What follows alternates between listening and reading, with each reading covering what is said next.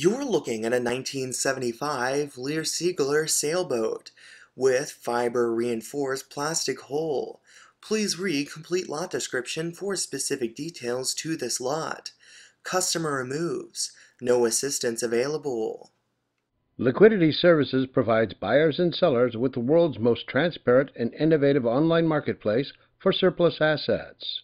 We add new merchandise weekly with merchandise from government agencies, corporate clients, and commercial businesses. Thank you for visiting your Better Future for Surplus and Liquidity Services.